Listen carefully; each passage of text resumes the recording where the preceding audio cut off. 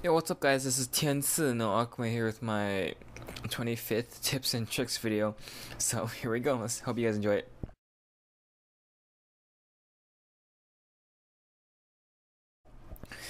Baiting Baron. One of the many things that people do when sneaking a Baron buff is to send out a player onto the map.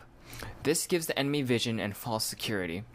In this situation, since my Kat deals a lot less damage to Baron than an AD carry would like Corki, it would make a lot more sense to send me out as bait.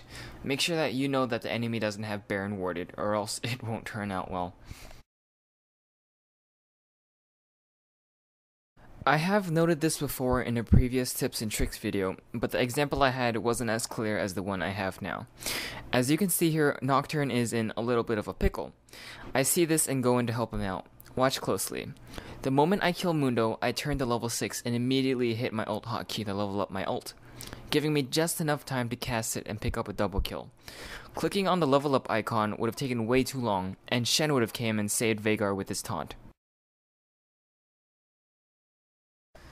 When a good opportunity comes along to kill the enemy, and you need more than one person to finish the job, it's a good idea to coordinate with your teammate.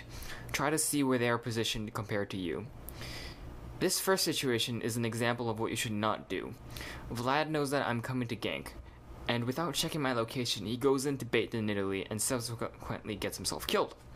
I'm unable to follow up, and Nidalee pounces away with a free kill.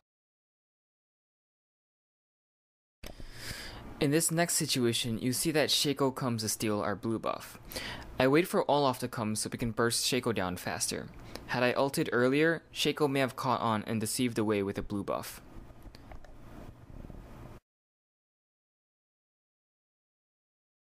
Getting out in the easiest fashion possible.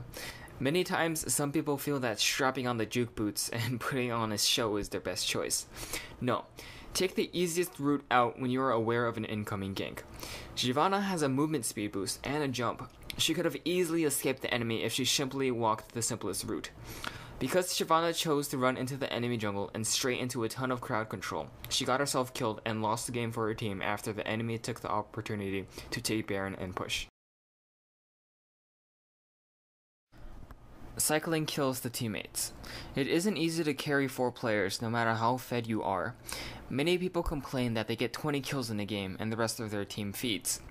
Try to cycle some of the kills to your teammates. That way it'll bring them back into the game and they can carry themselves without relying too much on their teammates. It is always easier to carry a team with two people than it is to carry a team with one person. In this game, Nocturne gave me most of the kills, and I was able to carry the team to victory, even though I got counterpicked mid by Kassadin.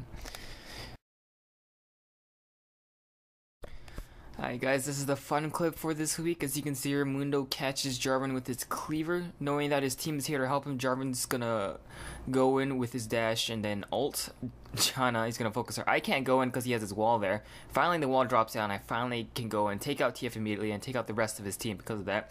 I'm barely able to shunpo onto Corki before he flashes away, which allows me to pick up the pentakill. So, there you have it.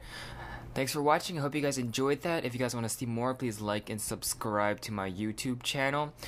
I'm streaming now, and I also have a Facebook page which has all of my info on it. So, well, all of the updates that I have. So, go check it out. All the links will be in the description. Thanks for watching.